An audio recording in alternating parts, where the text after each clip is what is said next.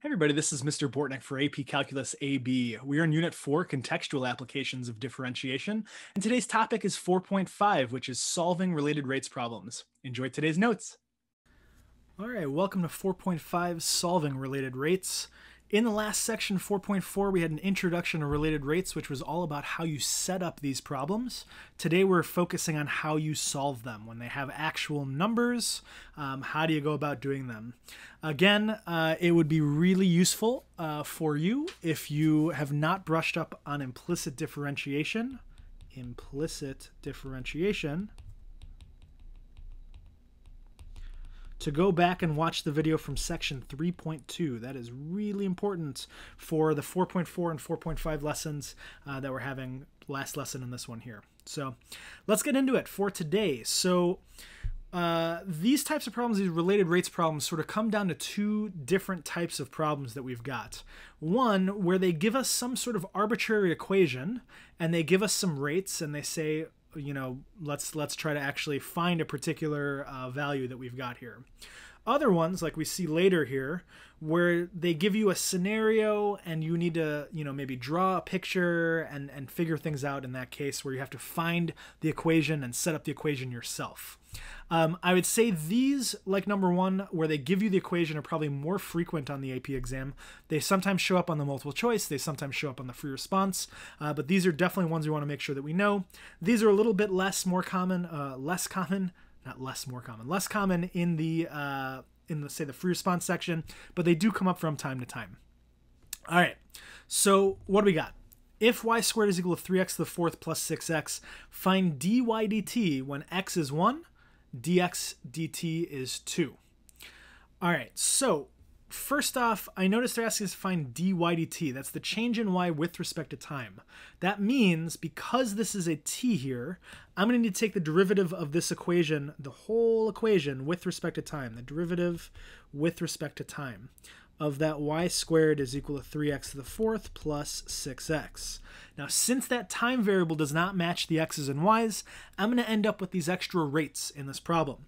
The derivative of y squared is 2y, and since that y and t don't match, we end up with a dy dt when we take that derivative.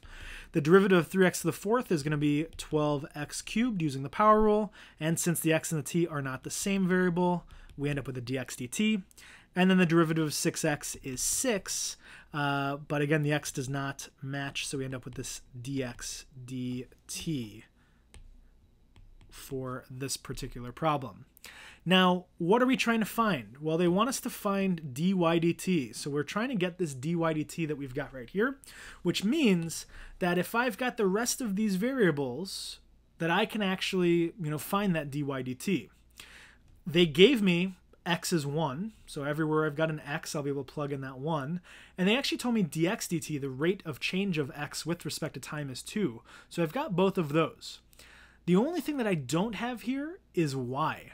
And so I need to think about, you know, I, am not going to be able to solve dy dt if I don't have the y. So in cases like this where I don't have enough information to plug everything in, I would go back to the original equation that they gave and try to solve for y in that way. Specifically here, we know that y squared is equal to 3 times our x, which is 1 to the fourth, plus 6 times 1 uh, for that. So again, we plugged x into this equation so that we can find out what y is. So I'll leave this over here as my side work.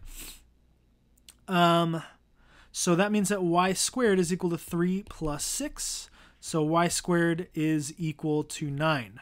Now we know that if we want to get y by itself, we take the square root of that 9, and so that would mean that y is equal to 3 or negative 3.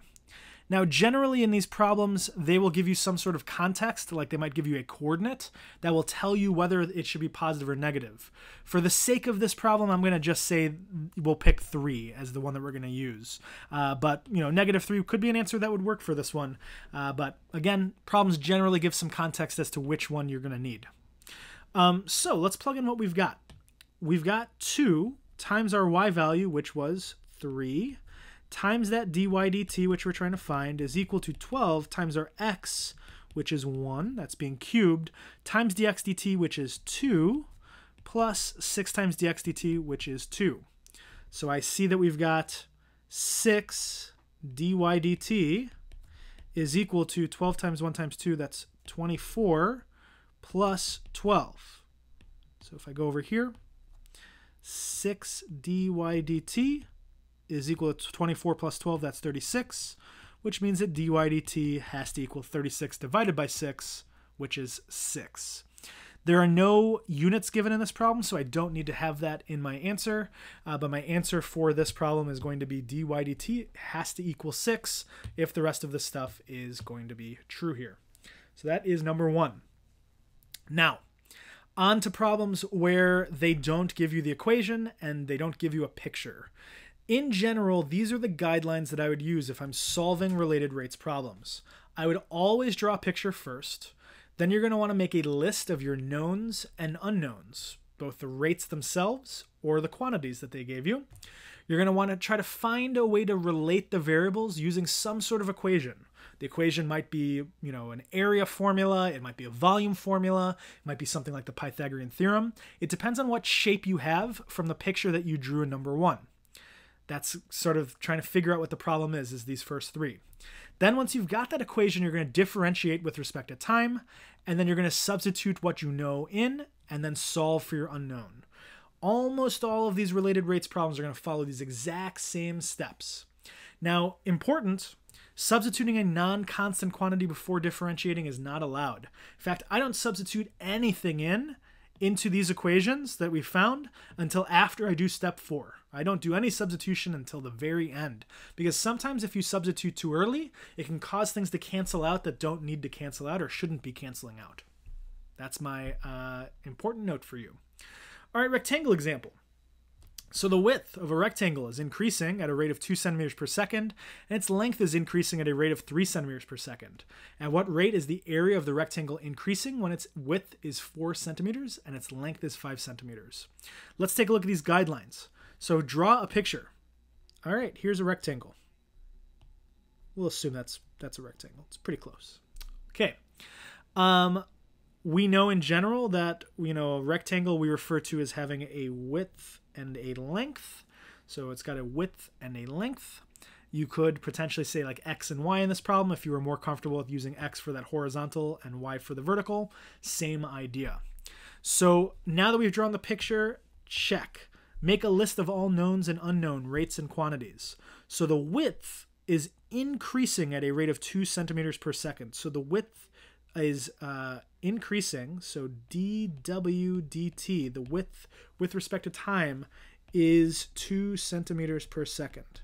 And I know it's positive because they said it's increasing. Its length is increasing at a rate of 3 centimeters per second. So the change in the length with respect to time is positive 3 centimeters per second.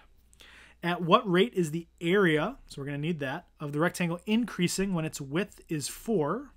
So width is 4 centimeters, and its length is 5 centimeters. What are they? They're asking us uh, what rate is the area increasing. So they're asking us to find dA dt, the rate of change of the area with respect to time. So we have all of these givens. They gave us four things that we know right here. And our unknown is our dAdt. We don't know uh, what that is with respect to time. Um, and so uh, those are all values that we're going to want to try to find here in this case. Now, luckily for us, we know that this is a rectangle, and we know that we're talking about the area of a rectangle, and we know that the area formula is length times width to find the area of a rectangle. So we made a list of all known and unknown rates and quantities. We related the variables in an equation, right? The area is related to the length and the width. Nice. Next, we need to differentiate with respect to time. So I'm going to take the derivative of both sides with respect to time. And so what does that give us?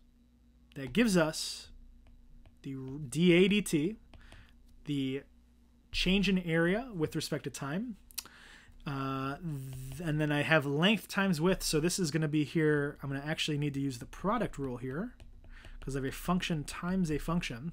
So that is going to be dl dt, the derivative of L times W, plus the length times the derivative of uh, the width, so dw dt.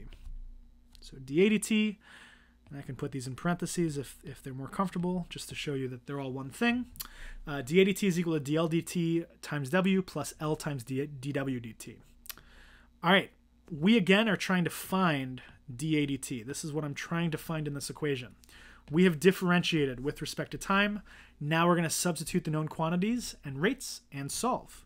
So that dAdt is going to equal the change in length with respect to time, which we said was 3 centimeters per second, times the width, which is 4 centimeters, plus the length, which was 5 centimeters, times dw dt, which was 2 centimeters per second.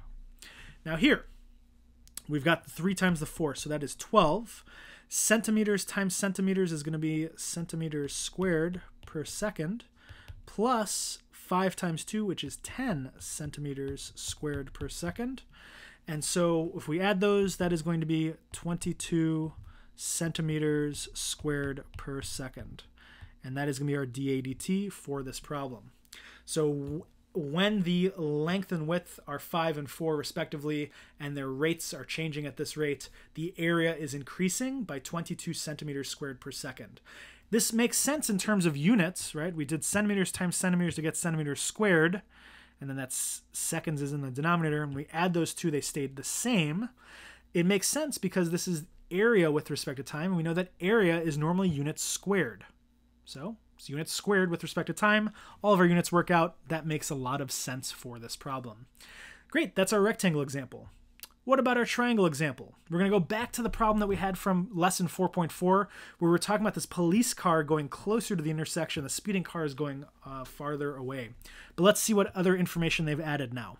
So the police car is moving towards the intersection. The speeding car is moving away from the intersection, moving east. We talked in the last lesson about making sure that we know our directions north, south, east, and west. They come up sometimes in these problems. Uh, when the police car is 0.6 miles north and of the intersection, so actually let's let's label our sides first. So we've got our picture. They gave that to us first. Let's label what we've got. Our our horizontal line I'm going to call x. Our vertical line we're going to call y. I'll call the hypotenuse of this z. So the police car is 0.6 miles north. So y is 0.6 miles. The car that's being chased is 0.8 miles east. So our x is 0.8 miles, right? Because that distance from here to here to the speeding car is going to be 0.8 miles. The police determine with a radar gun that the distance between them and the car is increasing at a rate of 20 uh, miles per hour. So from the police car to the speeding car, the rate is increasing. So that they're telling us here dz dt, the rate of change of z, is 20 miles per hour. If the police car is moving at 60 miles per hour, so dy dt is equal to 60 miles per hour, uh, what is the speed of the car? So find dx dt. That's what we're trying to find. Now, one thing I'm going to mention here the police car is moving towards the origin. It's moving towards the origin here, which means that the y is getting smaller. Since y is getting smaller, I should know that the rate of change of y needs to be negative. They don't tell me that explicitly in this problem. We need to figure that out based on the context. Is it getting larger or smaller? Since it's getting smaller, this has to, has to, has to be negative. And so I'm going to make this a negative 60 miles per hour. That is a big, big thing that comes up in these problems sometimes. You should be thinking about whether these side lengths are getting bigger or smaller to think about the signs of these. Because they gave us a speed, and really we're also worried about it, the velocity. We care about the sign of these as well. Cool. All right, so we've done the first step and the second step. We drew a picture, we made a list of all known and unknown rates and quantities. Now we want to relate the variables in an equation. Here, again, we have a right triangle. So in this case, we're going to relate them using the Pythagorean theorem because we know that the Pythagorean theorem relates the three sides of a right triangle. And then in the fourth one, we're going to differentiate with respect to time. So I'm going to take the derivative of this with respect to time. Now the derivative of this, using that implicit differentiation, is 2x times dx dt plus 2y times dy dt is equal to 2z times dz dt. They're asking us to find dx dt, so I want to know what that is. And I need to look and see what, what I have. I have my x, they gave that to us already. I have my y, they gave that to us already. I've got dy dt, they gave that to us. z we don't have, but dz dt we do. So here I don't have enough information to plug everything in. I don't know what z is. They didn't tell us, which means I need to go back to the original equation and find out what z is before I go any further with this. So as my side work, let's do that here in green, I'm going to do my Pythagorean theorem, and I'm going to plug in what we know, and we'll solve for z. We know that x is 0.8, we know that y is 0.6, and our z we don't know. So we've got 0.64 plus 0.36 is equal to z squared. So 1 is equal to z squared, so z has to equal 1. So now I know this piece of information, I'll be able to help substitute that in. So I'll go back up here to this, this part, and let's plug in what we know. We know x, so 2 times our x, which was 0.8, times dx dt, that's what we're trying to find, so we'll leave that alone. Plus 2 times our y, which was 0.6 times dy dt, which again is negative 60, is equal to 2 times our z, which we found out was 1, times dz dt, which we found out was 20. So we plug in everything that we know. Our goal now is to find that dx dt. We want to get that by itself. So this is 1.6 dx dt plus 2 times 0.6 times negative 60. That's going to be uh, negative 72. And that's equal to 2 times 1 times 20, which is 40. So if I add that 72 to the other side, we get 1.6 dx dt is equal to 112. And then if we divide by 1.6 on both sides, we get that dx dt is equal to 112 divided by 1.6, which is going to be 70 miles per hour. What is this in the context of the problem? dx dt. Here's my x. So the rate at which this line is changing, it's increasing by 70 miles per hour. That means it's getting larger, which makes sense because this car is going that way, which means the x is getting bigger at a rate of 70 miles per hour. So that is the speed of our car, 70 miles per hour. Pretty cool that you can calculate that speed uh, knowing just a little bit of information about this problem. The police officer doesn't necessarily know how fast that speeding car is going, but actually has enough information to calculate that from uh, the scenario. Cool. All right, that is it for our examples. We've got a couple of practice where they give you the equation. Uh, these are just, you know, take the derivative, plug in what you know. In cases where you don't have enough information, don't forget to go back to the original equation to find anything you're missing. And then we've got some where you need to draw your scenario and, and do it on your own. Um, this is a really good one to get some practice in. Check your answers, come to class with any questions you've got, and have a great rest of your day.